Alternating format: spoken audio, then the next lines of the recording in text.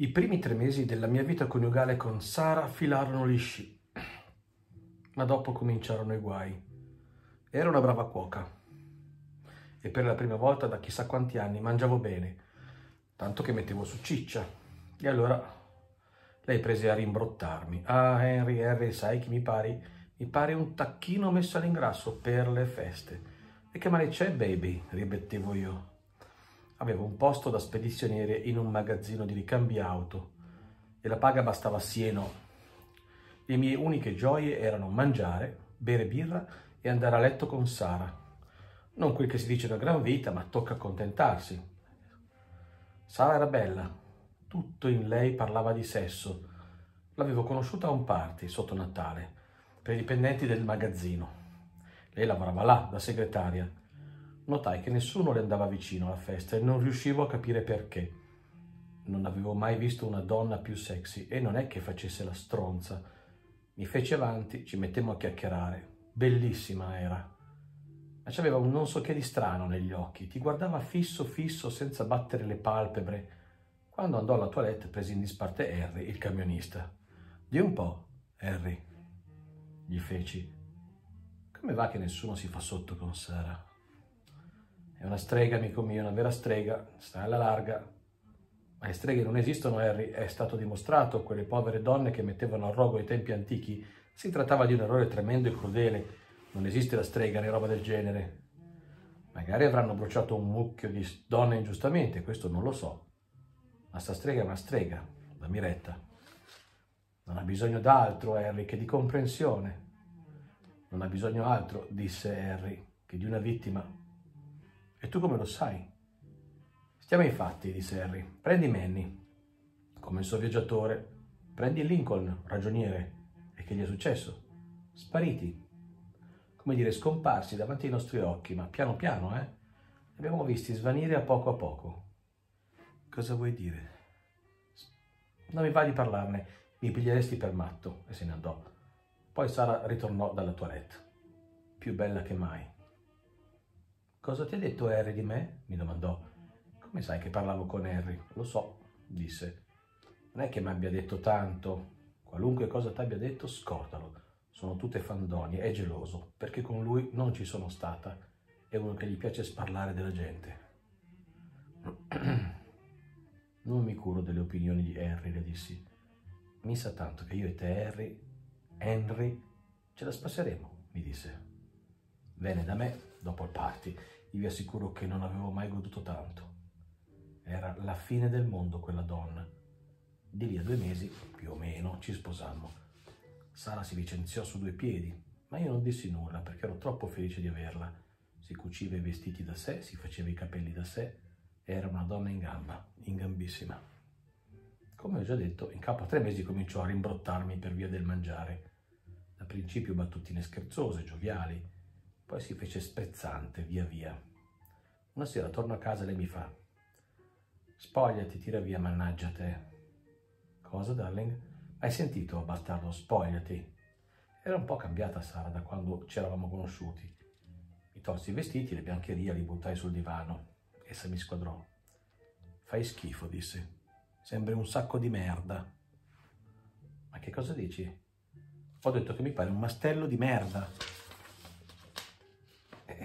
tesoro, che cosa c'è che non vai? Il ciclo per caso? Stai zitto. Ma guarda lì che piega di lardo che hai. Aveva ragione, mi correva una fascia di grasso tutto intorno alla vita. Prese a picchiarmi dei pugni sulle borse sporgenti dei fianchi. Bisogna smaltirla questa ciccia, eliminare i tessuti adiposi, le cellule di lardo. Mi seguitava a tempestarmi di pugni. Baby, mi fai male? Bene.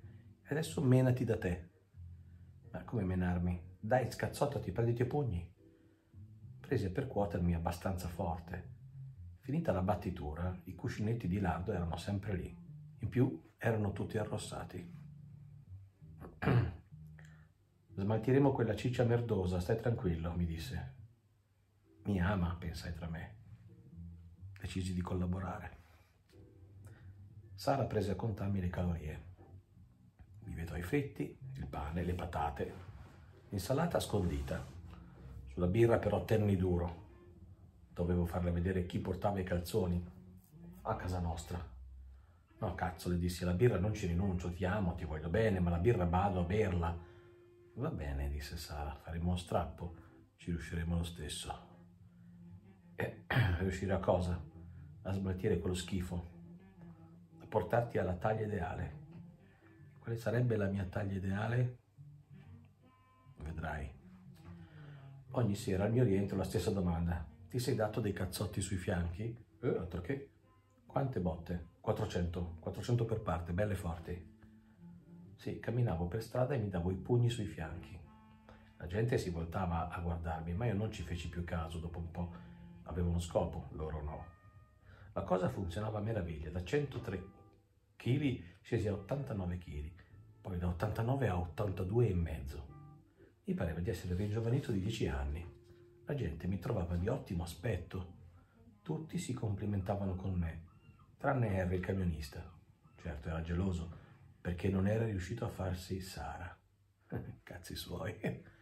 Una sera mi pesai 80 kg. Dissi a Sara, ci possiamo accontentare, non ti pare? Guarda che silhouette. Le falde adipose erano da tempo sparite, il ventre adesso era piatto, le guance incavate. Secondo le tabelle andresti bene, disse Sara, ma per me non hai raggiunto ancora la taglia ideale. Senti, le dissi, sono un alto 1,80 m, qual è il peso ideale per me? Allora Sara mi rispose in un modo un po' strano non ho mica detto il peso ideale, parlato di taglia ideale. Viviamo nell'era atomica, nell'era spaziale, ma soprattutto nell'era del sovraffollamento e io sono la salvatrice del mondo. Lo so io come risolvere la questione del sovraffollamento, altro che ecologia. Alla radice del problema c'è l'eccesso di popolazione. Se si risolve questo, si rimedia anche all'inquinamento e tante altre cose. Ma di che cazzo stai parlando? le chiesi stappando una bottiglia di birra. Non ti preoccupare, mi rispose, te ne accorgerai. A un certo punto notai che pur seguitando a calare di peso, non dimagrivo oltre, era strano. Poi mi accorsi che i risvolti dei calzoni mi ricadevano un po' sopra le scarpe, un tantino, e che i polsini della camicia mi andavano un po' lunghi Guidando l'auto mi pareva che il volante mi stesse più lontano. Mi toccò avvicinare il sedile di un intacco. Una sera salì sulla bilancia. 69 kg. Guarda qua, Sara. Che c'è, amore? C'è qualcosa che non mi batte. Cosa? Eh, mi sa che mi restringo. Ti restringi? Sì, mi ritiro. Ah, scemo non, ti restringono, non si restringono mica i cristiani. Pensi che stando a dieta si ritirino le ossa? Le ossa non si accorciano. Riducendo le calorie si riduce il grasso e basta, non dire idiozie, ti restringi, impossibile. E scoppiò a ridere. Va bene, dissi io, vieni qua, ecco una matita, ora mi metto contro la parete. E come faceva mia madre nell'età dello sviluppo per controllare se crescevo, fai un, fai un segno sul muro, dove arrivo con la testa. Ah, va bene, sciocchino, disse lei. Tracciò una riga. Una settimana dopo ero sceso a 60 kg scarsi. Il callo si faceva sempre più rapido. Vieni qua, Sara. Ma sì, sciocchino, fai un po' un segno. Tracciò una riga, mi voltai. Vedi? Vedi?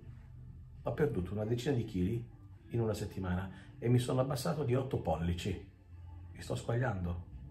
Sono alto 1,55 una pazzia, una pazzia bella e buona, una pazzia. Ne ho abbastanza. Me ne sono accorto che mi accorci i calzoni e le camicie, sai? Non ci sto. Adesso mi rimetto a mangiare come prima. Credo proprio che tu sia una specie di strega. Sciocchino. Di lì a poco il principale mi chiamò nel suo ufficio. Mi arrampicai sulla sedia davanti alla sua scrivania. Harry Markson Jones Jr.? Eh sì, sì, mi dica. Lei sarebbe Henry Markson Jones Jr.? Sì, sì signore, sì. Ecco Jones, noi l'abbiamo osservata attentamente. Temo che lei non sia più adatto alle mansioni che svolge. Ci dispiace vederla andare via, voglio dire, ci dispiace doverla mandare via in questo modo, ma Ma signore, io faccio del mio meglio. Lo so, Jones, ma vede, lei non è più all'altezza dei suoi compiti. Mi licenziò.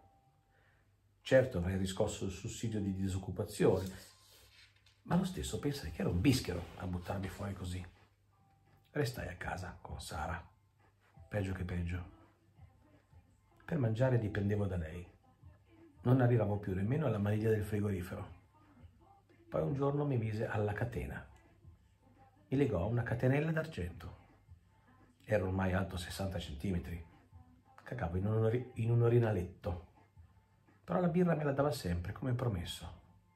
Oh, che coccolo che sei, mi diceva, così piccino, così caruccio. Anche la nostra vita amorosa era finita. Tutto quanto mi si era ridotto in proporzione la montavo, ma dopo un po' mi tirava via e rideva. Beh, ci hai provato, piccioncino. Non sono un piccione, sono un uomo. Oh, il mio caro piccolo metto. Mi tirava su e mi baciava con quelle labbra rosse. Sara mi ridusse alla statura di sei pollici. Mi portava con sé a fare la spesa nella sporta, ma facciava guardare la gente attraverso dei buchi che lei aveva fatto. Devo dire una cosa a suo favore, mi lasciava sempre bere la mia birra la bevevo in un ditale. Un litro mi durava un mese. Ai vecchi tempi lo facevo fuori in 45 minuti. Ero rassegnato. Sapevo che se avessi voluto mi avrebbe potuto far svanire del tutto. Meglio sei pollici di niente. Anche un pochino di vita ti è cara quando sei alla fine della vita. Quindi facevo divertire Sara. Era tutto quello che potevo fare. Mi confezionava vestitucci, scarpine mi metteva sopra la radio, accendeva la musica e balla, balla bellino, balla su, balla piccolo babbeo. Beh, non potevo passare a riscuotere il sussidio di disoccupazione, così ballavo sopra la radio mentre lei batteva le mani e rideva. Vi dirò, i ragni mi mettevano una paura tremenda, le mosche erano grandi come aquile gigantesche per me e se un gatto mi avesse acchiappato si sarebbe divertito a torturarmi come un topolino ma la vita mi era cara lo stesso, ballavo, cantavo e resistevo. Per il poco che abbia, un uomo si accorge che potrebbe avere ancora meno. Quando facevo la cacca sul tappeto, mi sculacciava. Dovevo farla su dei pezzi di carta che Sara puliva apposta in giro, che lasciava apposta in giro, e io ne laceravo un lembo per pulirmici il sedere era come cartone, però mi vennero le emorroidi. Non riuscivo a dormire la notte per un complesso di inferiorità, mi sentivo in trappola. Paranoia? Comunque mi sentivo bene e ballavo e cantavo. E poi Sara mi dava la birra. Sarà certo stato un motivo per lasciarmi in quel formato lì, sei pollici esatti, ma quale fosse non lo sapevo mica, mi sfuggiva, eppure lei mi chiamava quasi mi, come pure mi sfuggiva quasi tutto. Inventavo canzonette per Sara, così le chiamavo. Canzoni per Sara. Oh, sono un piccolo gnombo da strapazzo, tutto va bene finché non m'arrazzo, che non c'è nulla che mi renda pago, tranne là solo la cruna di un ago. Sara rideva e batteva le mani. Sara rideva e batteva le mani. Beh, perlomeno questo andava bene. Bisognava accontentarsi. Ma una sera successe qualcosa di molto disgustoso. Io ballavo e cantavo e Sara stava distesa, nuda, sul letto, battendo le mani, a bere vino e ridere. Stavo esibendomi in uno dei miei numeri migliori, ma al solito il ripiano della radio si era riscaldato e mi scottava i piedi. Non resistevo più. Senti, baby, le dissi, qui scotta, mettimi giù, dammi una birra, non il vino, bevilo tu, quel vinaccio da quattro soldi, dammi un ditale di quell'ottima birra. Sicuro, dolcezza, mi disse, hai fatto un gran bel numero stasera, baby. Se Mandy e Lincoln fossero stati bravi come te sarebbero qui a quest'ora. Loro invece non ballavano, non cantavano, si malinconivano e basta. E quel che peggio non volevano prestarsi al gran finale. E qual è il gran finale? Chiesi io. Ora, dolcetto ciccio, amore, bevi la birra e rilassati voglio che te lo godi il gran finale. È evidente che tu hai molto più talento di Manny o di Lincoln. Credo proprio che io e te arriveremo al culmine degli opposti. Diavolo, come no? Dissi io scolando la birra. Fare il bis, dammene un'altra, per favore. E dimmi che cos'è il culmine degli opposti. Goditi la tua birra, dolcettino, lo saprai molto presto. Finì la seconda birra, poi la cosa disgustosa ebbe luogo. Una cosa molto, molto disgustosa. Sara mi agguantò e mi piazzò fra le sue cosce, che allargò un tantinello. Qui mi trovai di fronte a una foresta di peli. Irrigidì i muscoli della schiena e del collo, avendo capito l'antifona. Venni schiaffato dentro, al buio. Udivo Sara gemere. Poi cominciò a muovermi, piano piano, avanti e indietro. Come ho detto, c'era anche puzza. E poi facevo difficoltà a respirare, però l'aria non è che mancasse del tutto, anzi c'erano spifferi, zaffate Ogni tanto con la testa, con la sommità del cranio, andavo a cozzare contro il grilletto e allora Sara metteva un gemito più profondo prolungato. Cominciò a muovermi più velocemente, sempre più alla svelta. La pelle mi scottava. Respirare si faceva sempre più difficile. L'odore più atroce. La sentivo palpitare. Capii che prima compissi l'opera, meno avrei tribolato Ogni volta che venivo stantuffato in avanti, inarcavo la schiena e il collo. Mi inarcavo più che potessi per andare a cozzare contro il grilletto. D'improvviso venni estratto da quell'orrendo cunicolo. Sara mi sollevò all'altezza del suo viso. Vieni, diavolo d'un coso, vieni, mi ordinò. Era Ebra, Sara, divino e di passione. Mi edificò di furia nella grotta. Mi spingeva avanti e indietro, svelta, svelta. Poi d'un tratto respirai profondamente per gonfiare il petto Radunai saliva nella bocca e le sputai. Una volta, due, tre, quattro, cinque, sei volte, poi smisi. La puzza aumentò di intensità, da non potersi manco immaginare, poi alla fine venne tirato fuori l'aria aperta. Sara mi sollevò sotto la lampada e cominciò a baciarmi sulla testa e sulle spalle. Oh tesoro mio prezioso uccello, ti amo. Mi baciava con quelle orribili labbra pitturate. Vomitai esausta e languidita tra i fumi del vino e del piacere, mi collocò sul petto. Mi accucciai là, ascoltando il battito del suo cuore. Mi aveva sciolto. Non avevo più quel dannato guinzaglio, ma lo stesso mi sentivo oppresso. Uno dei suoi enormi seni mi pesava addosso, reclinando un po' di lato. Mi trovai proprio sopra il suo cuore, il cuore della strega. Se io rappresentavo il rimedio al sovraffollamento del mondo, perché mi aveva usato semplicemente come un oggetto di svago, giocattolo sessuale? Là sdraiato ascoltavo quel cuore. Non c'erano più dubbi. Era una strega. Poi guardai su e indovinate cosa vidi. Una cosa sorprendente. Un piccolo interstizio nella testiera. Uno spillone una spilla di quelle che guarniscono i cappelli delle donne, lunga con la grande capocchia di vetro colorato. Mi inerpicai fra i seni, su per la gola, recline, mi sai sul mento, con grande fatica, poi le camminai sul viso. Quando fece una smorfia nel sonno, io persi l'equilibrio, mi dovetti afferrare a una narice. Lentamente mi rialzai presso l'occhio destro, teneva la testa leggermente reclinata a sinistra, e di lì balzai sulla tempia, avanzai verso il centro della fronte, mi infrattai fra i capelli. Molto arduo aprirsi un varco in quell'intrico. Alla fine mi tesi, mi allungai, riuscii ad arrivare fino a quella spilla. La discesa fu rapida, ma anche più rischiosa.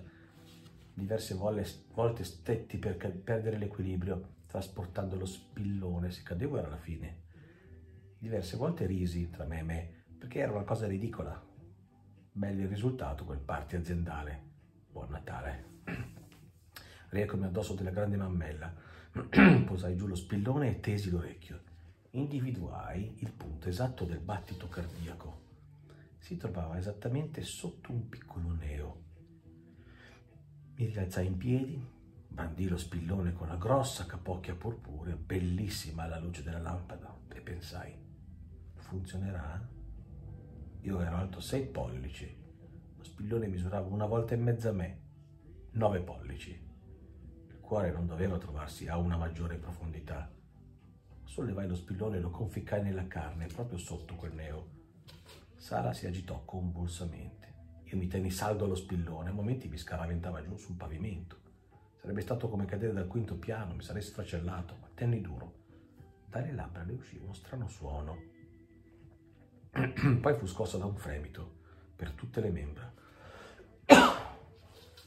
Strinsi i denti e spinsi dentro gli ultimi tre pollici di spillone giù, dentro il suo petto, ve li immersi fino alla capocchia.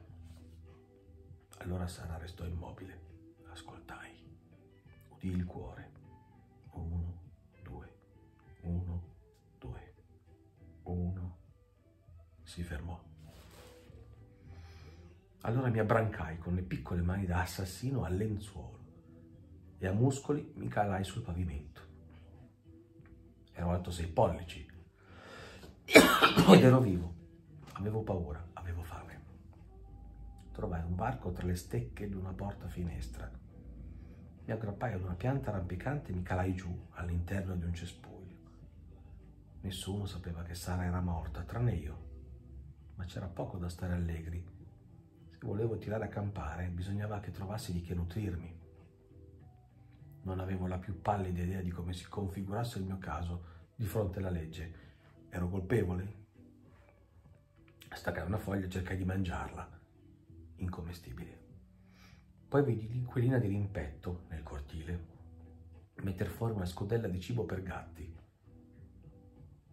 Strisciai fuori dal cespuglio e mi diressi quatto quatto verso quella scodella allerta a ogni minimo rumore. Era il cibo più schifoso che avessi mai mangiato. Ma c'era poco da farlo schizzinoso. Ne mangiai quanto più potevo. Il sapore della morte è anche peggiore. Tornai nel cespuglio e mi nascosi nel folto. Ed eccomi là, alto sei pollici, come rimedio al sovraffollamento demografico, infrattato in un cespuglio, con la pancia piena di cibo per gatti. Non vi voglio annoiare con tanti dettagli, Erano continue fughe da cani, gatti, topi. Mi sentivo ricrescere a poco a poco. Alla fine portarono via il cadavere di Sara. Rientrai in casa, ma ero ancora troppo basso per aprire lo sportello del frigo. Un giorno il gatto mi sorprese, sorprese a rubargli da mangiare e a momenti mi sbranava. Bisognava cambiare aria. Ero adesso alto quasi dieci pollici. Seguitavo a crescere riuscivo già a mettere spavento ai piccioni. Quando metti paura ai piccioni è segno che sei a buon punto. Così un giorno mi avventurai per la strada, tenendomi al riparo come meglio potessi, nei punti più in ombra, tra le siepi, così via. Così spiccando corse e nascondendomi, arrivai al supermercato. Qui mi rimpiattai sotto il chiosco dei giornali accanto all'ingresso. Appena la porta automatica si aprì per lasciare entrare una massaia, io sgattaiolai dentro appresso a lei. Uno degli inservienti si girò di, girò di scatto la testa mentre io schizzavo all'interno dentro, dietro la massaia. Ehi, ma che cazzo è quello? Cosa? domandò un cliente. Mi era parso di vedere qualcosa, disse l'addetto. Mi sarò sbagliato, lo spero. Riuscì a infilarmi senza essere visto nel salone e qui trovai rifugio dietro certi scatoloni di pomodori pelati. Appena notte uscii dal mio nascondiglio e mi feci una bella scorpacciata. Sottaceti, prosciutto, gallette di segala, patatine fritte, birra, un bel po' di birra. Divenne il mio tran tran. Tutto il giorno mi tenevo ben nascosto. La sera, la sera uscivo fuori e banchettavo. Siccome ero in crescita, stare acquattato si faceva via via più difficile. Ogni sera il direttore chiudeva l'incasso della giornata nella cassaforte. Era lui l'ultimo ad andarsene. Osservavo attentamente le sue mosse. Quando formava la combinazione, poi provavo a calcolare 7 a destra, 6 a sinistra, 4 a destra, 6 a sinistra, 3 a destra, aperta. Ogni sera andavo là e facevo un tentativo con quei numeri.